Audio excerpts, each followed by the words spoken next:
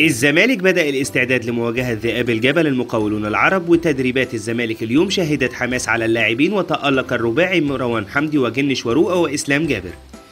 إصابة الونش هي عبارة عن كدمة قوية في الركبة اليمنى.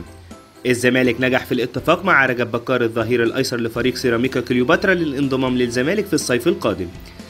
الزمالك وضع سقفا للفئة الأولى بالنادي وهو مبلغ 8 مليون جنيه وفقا للظروف النادي لظروف النادي المالية. كارتيرون طلب من معاونيه تجهيز شرائط لمباراة المقاولون القادمة والمهاجم الليبيري أوجستون أوتو معروض على الزمالك للتعاقد معه في الصيف المقبل واللاعب مع فريقه هو تانجا الليبيري. خلال 20 مباراة سجل 19 هدف وصنع 3 أهداف. لاعبي الزمالك خضعوا لمسح اليوم قبل مواجهة الذئاب والزمالك يواجه المقاولون العرب في تمام الساعة التاسعة والنصف مساء يوم الخميس القادم.